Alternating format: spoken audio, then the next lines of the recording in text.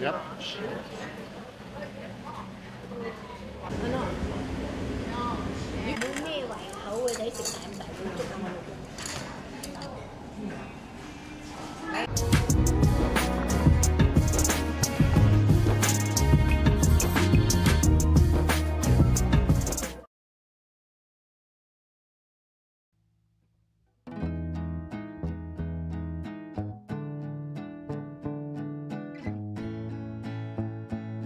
Been a while since we were last in Ipoh. We decided to do a short day trip to see how many food spots and places we could fit in in just about six hours.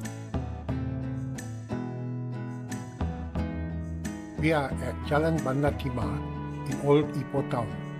This is one of our favorite breakfast spots.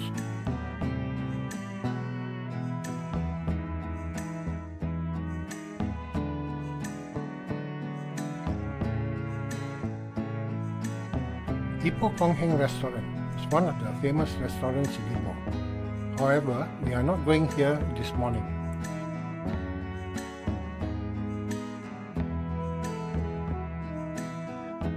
This is where we will be having our first meal in Ipoh this morning.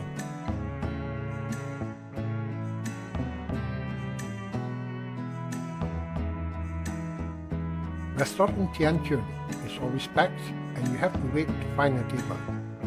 The good news is that you do not have to wait very long.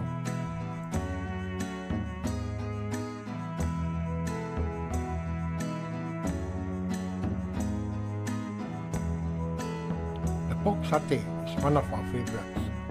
You may find it difficult to find good intestine satay the way they prepare it here.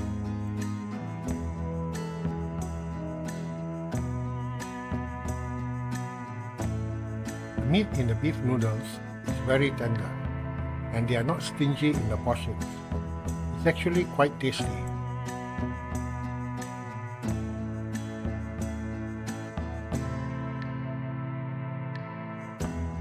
This is what most visitors come here for. They are very famous for their kai si hor a flat rice noodle or kway served in a delicious broth with sliced chicken strips and prawns. Did not find the sotong kangkong to our liking.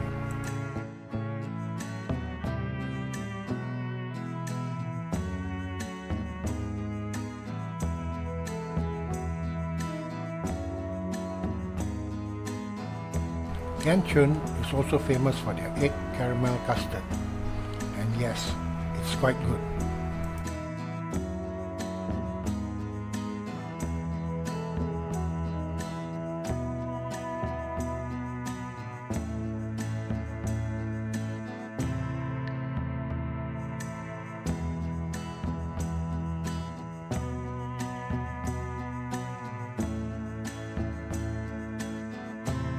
Kong Heng Coffee Shop was once an actor's hostel in the 1920s.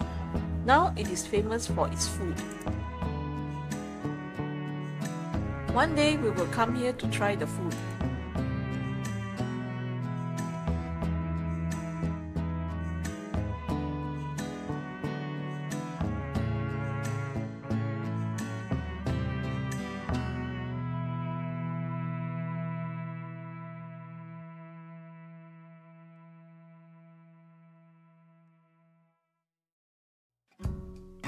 This is a newly built Old Town Heritage Centre.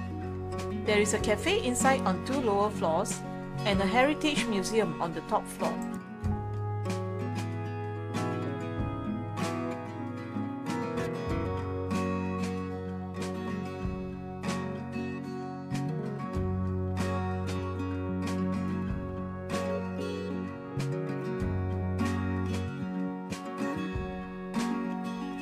This great souvenir shop along Concubine Lane selling board games, cards, hats, and other trinkets. It brings back memories seeing all those board games.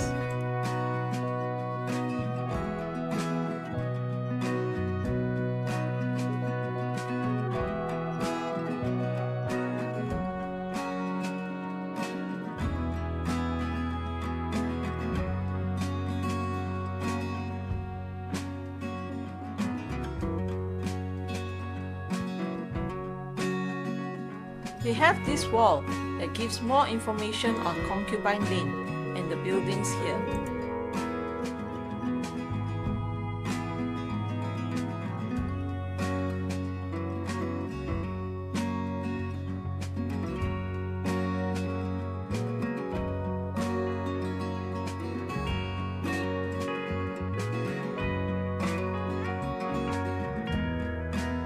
What caught our eyes was this wooden chessboards. I used to imagine sitting at a chessboard in the evening after dinner. Unfortunately, I couldn't find someone to play with. Too bad I don't know the game.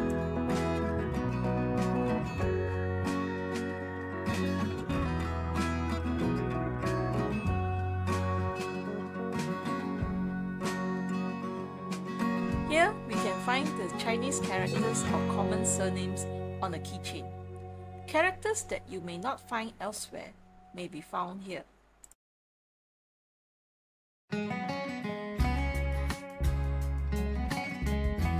Usually, this lane is packed full of vendors and customers.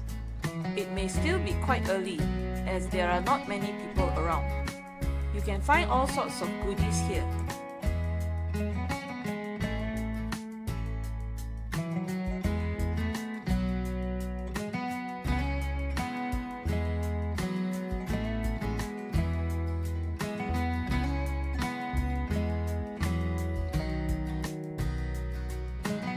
Would have loved to look around Concubine Lane, but time is limited and we have more places to go. We were on our way to another one of our favorite spots located in Pasir Pinji when we passed this temple. This is the Mazu Pavilion and devotees are celebrating the birthday of the goddess Mazu. We have arrived at our destination. This is the famous Big Tree Foot Yong Tau Fu food court.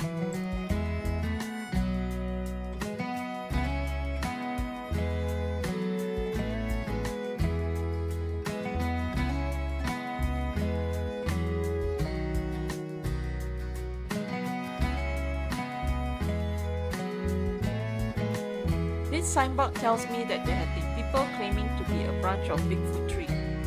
As the sign says, this is the one and only branch. The interesting thing about this place is that you can find a very wide range of Yong Tau Fu and their famous deep fried yam bean fritters. You can also get good asam laksa here. Since we are still full, we decided to take away the Yong Tau Fu.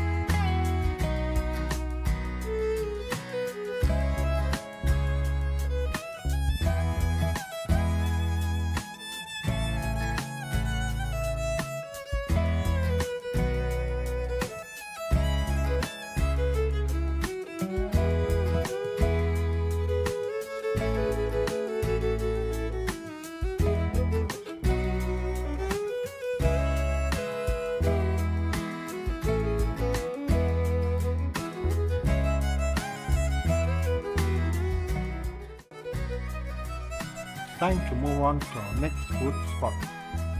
We have seen very good ratings about this place and even heard of a grab food waiting for it. So, we just had to come here to try their food. This is Faiki Porridge and Noodle House. Our stomachs are still quite full, so we are only going to order for sharing.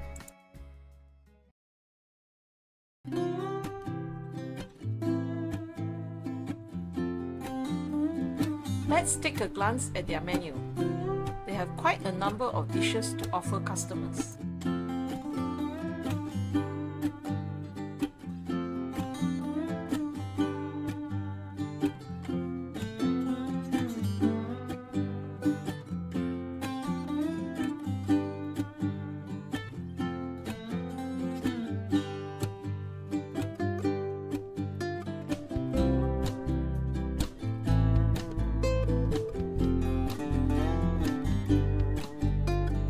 Ordered deep fried intestine porridge, pork offal soup, and signature mixed pork porridge.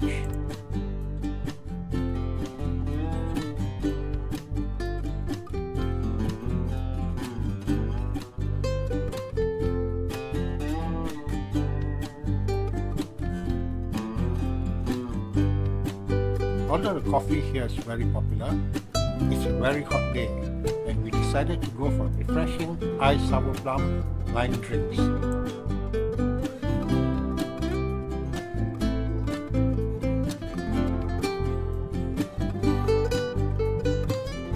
time is very short it's time to move on to our next venue. Join us for parts 2 to 4 coming soon. Thanks for watching.